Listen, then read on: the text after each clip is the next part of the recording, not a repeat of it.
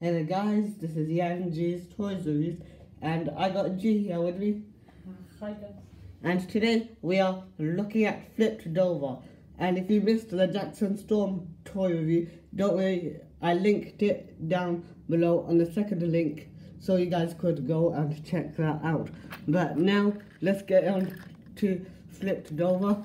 As you can see, he's got it's a new sponsor Cars 3 called Intersection and I like that expression.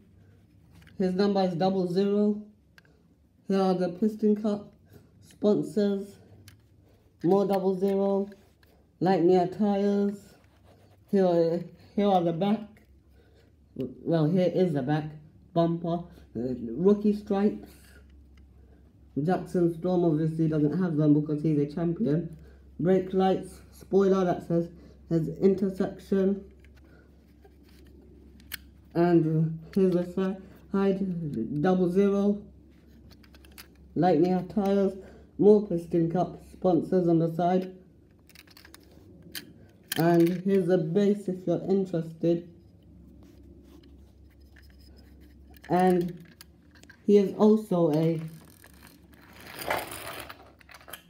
pullback. Just like Jackson Storm so guys, please make sure to like, comment and subscribe. Bye.